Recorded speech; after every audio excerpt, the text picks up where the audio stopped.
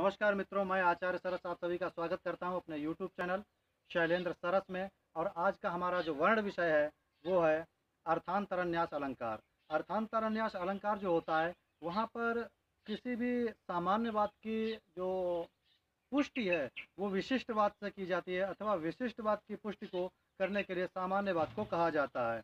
तो जो अर्थांतर अन्यास है, उसका तात्पर्य ये होता है अर्थ अर्थ का अन्य आस मतलब जो एक बात को कहने के पश्चात किसी दूसरी बात के द्वारा उसका समर्थन कर दिया जाना अर्थांतर अन्यास अलंकार कहलाता है। तो कैसे इसको हम समझते हैं और समझाते हैं, देखते हैं उदाहरण के द्वारा।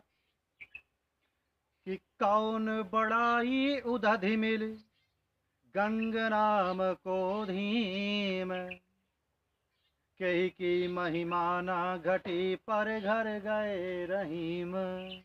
अर्थात जो गंगा है, ये समुद्र से जाकर मिलती है। मतलब जाकर मिलती है तो उसके वहाँ पर जो होता है, वो समुद्र ही समुद्र हो जाता है, फिर गंगा की महिमा समाप्त हो जाती है। तो रहीमदास जी कहते हैं कि इसी तरह से जब हम दूसरों के घर कुछ कहने जाते हैं तो वहाँ पर अपना सम्मान खत्म हो जाता है, मान खत्म हो जाता है, क्योंकि गंगा तब तक गंगा है जब तक वह दूसरों से मिली नहीं है। और जैसे समुद्र में मिल जाती है तो कहा, कौन बड़ाई उदध मिल?